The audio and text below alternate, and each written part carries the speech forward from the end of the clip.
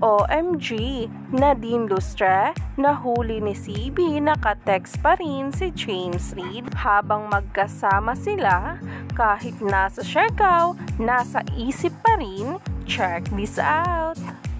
Talaga nga namang nagde-trending na si Nadine Lustre at nalilink dito na si CB na talagang umani palalo ng maraming reaksyon at komento ang latest na update natin for today. Dahil sa hindi nga inaasahan na larawan, maraming espekulasyon ang nagsilabasan. Marahil marami na rin nga ang nakakapansin ng totoong estado nila ni CB at ni Nadine na talaga nga namang kinasaya ng maraming Jaden fans.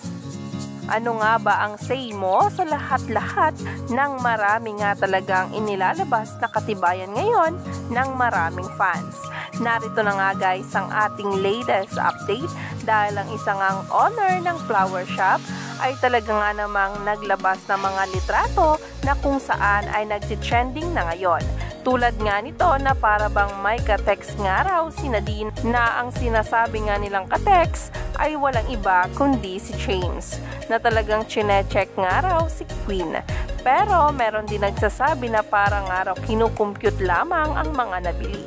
Ano nga ba ang totoo sa likod ng litratong ito kung saan hanggang ngayon ay umaani na ng maraming reaksyon at komento na kahit nasa Siargao, nasa isip pa rin nga niya ang pagiging plantita. Yan nga mismo ang sinabi ng maraming Jaden fans tungkol din sa litratong na-post. Na tulad ni James Reid ay talagang nagte-trending na nga sa social media.